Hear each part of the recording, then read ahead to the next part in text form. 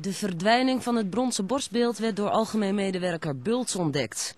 Een lege sokkel is het enige nog dat van de oud-directeur over is. En niemand weet waar de bronzen Nienhuis is gebleven. Ik heb geen idee. Ik heb echt geen idee, nee. De club maakt zich vooralsnog geen zorgen. De Veendammers vermoeden dat het beeld door de verbouwing van het stadion tijdelijk ergens anders is neergezet. Afgelopen zomer uh, hebben we hier nogal wat uh, zaken veranderd in het gebouw. Er zijn nogal wat mensen hier, uh, hebben hier rondgelopen. En ik denk dat in verband met, met wat bepaalde werkzaamheden, dat toen even het beeld van de sokkel gehaald is. En ik neem aan dat hij of op een kast gezet heeft of achter de trap.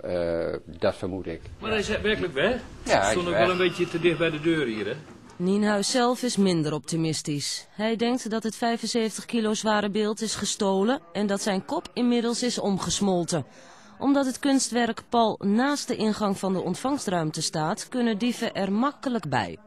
Ik weet uh, hoe zwaar het is, want het is toen de tijd met, met vier personen naar boven gebracht. Dus er is niet zomaar even iemand die het onder de arm slaat en meeneemt. Dus uh, het is, een, het is een, echt een actie. Maar ze klimmen ook in, uh, in, in, windmolens van 30 meter hoogte om daar koper uit te stelen. Zeven jaar geleden werd het kunstwerk door de businessclub aan Nienhuis geschonken. Ter ere van 25 jaar betaald voetbal in de Parkstad. Ik heb er een prachtige foto van, dus uh, ik kan aan mijn kleinkinderen vertellen uh, dat er ooit een opa was die een borstbeeld had. De medewerkers van BV Veendam hebben de moed nog niet opgegeven. Volgende week wordt het hele stadion uitgekampt.